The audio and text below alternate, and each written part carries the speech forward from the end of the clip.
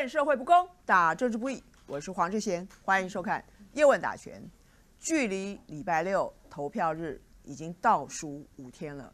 过去的这个周末，当然一定很热闹。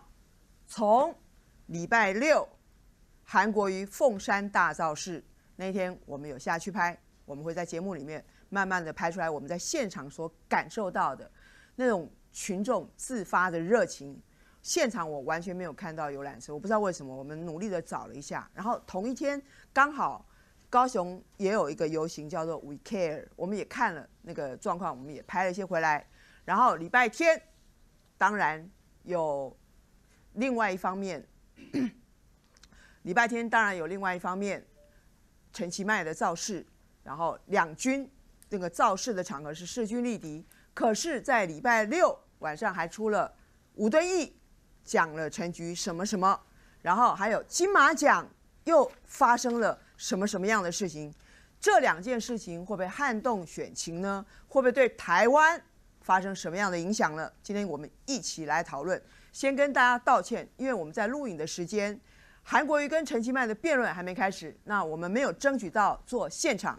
我会努力为各位观众争取我们做现场的机会。今天跟我们一起打拳的前台北县长周习伟，主持人好，大家好。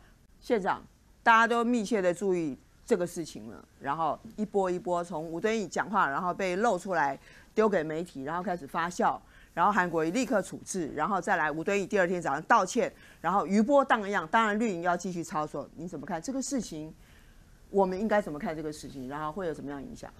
我现在讲现在台湾的选举的气氛哈，现在选举的气氛大家都不喜欢攻击骂人的，大家选举的气氛更不会去讲到的性别上的一些一些侮辱的话，呃，省级上的话也少讲啊。在这次的选举，你可以看到这些过去用的招式都没有效了，甚至民进党，我在看他在整个选举里面，甚至打悲情，以及他们都能穿一样的制服站在台上，这种选举我认为已经落伍。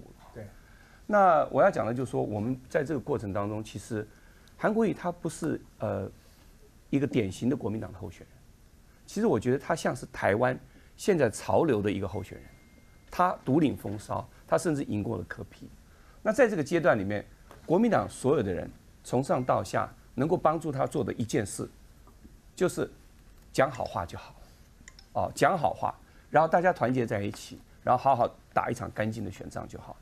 那吴主席讲的这个话，出由他自己出面出来，呃，鞠躬道歉，你就知道他讲错的这些话对整个的选举会不会有影响？其实影响是非常的深远，非常的大。但是我认为这个选举这样道完歉之后，韩国瑜这样讲完之后，我认为对他的影响力不大。嗯，我认为不大。那因为现在真的是支持的人就是支持，嗯，不支持的人就是不支持，对，中间选民非常少在高雄。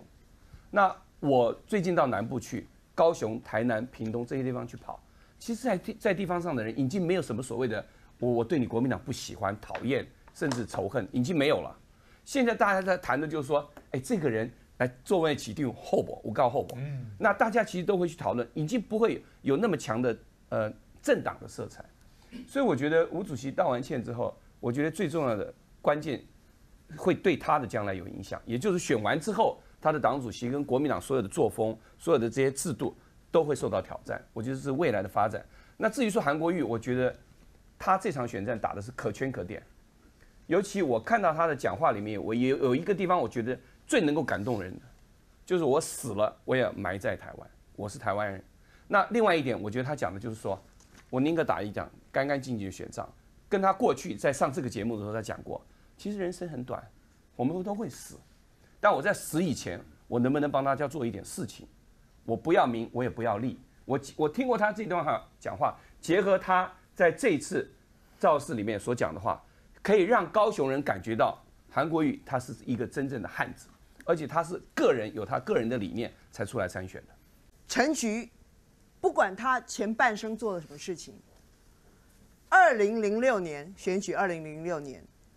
走路工黄俊英走路工抓到了贿选抓到了这件事情发生之后，陈菊的阵营是用牺牲台湾民主的方式换取了自己的荣华富贵。陈其迈难道没有对不起高雄吗？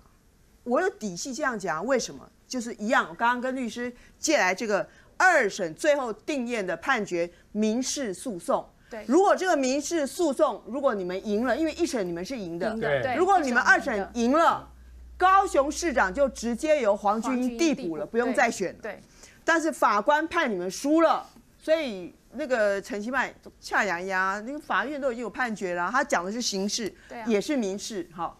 然后呢，但是请看这个判决文最后一页，最后一页，刚刚律师讲讲了。是你用这种这种标语，这种记者会是有损黄俊英的名誉，你用损害他的名誉，以求胜选之嫌。就是说我用抹黑你的方式来求取胜选。后面的文字没有没有没有标出来，可是更有趣。后面怎么讲呢？法官说固有可议，固然是有争议的啦，但这种行为，如果你们社会大众，你们如果舆论认为应当列为当选无效的事由，以端正选风，这句话什么意思？就陈其迈这种行为这这些奥博啊，法院认证认证的奥啊，因为他只写的比较文言文，我翻译成就是说，你们社会，你们这些媒体呀、你们社会大众民众，如果认为他这种行为是不应该的，你们想要端正选风，意思就是说他这个选风是不端正的。如果你们要端正选风，应该由立法程序明文规范，就是你应该立一条法，说你不可以去造谣抹黑来当选。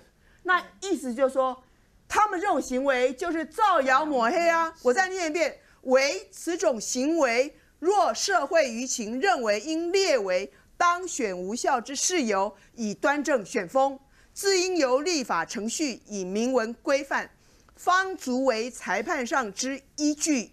好，这样子，这样已经很好笑了哈。再来，下面更好笑，在立法者没有把抹黑、诽谤之行为明文列为当选无效之事由前，啊，抹黑两个字直接出来喽。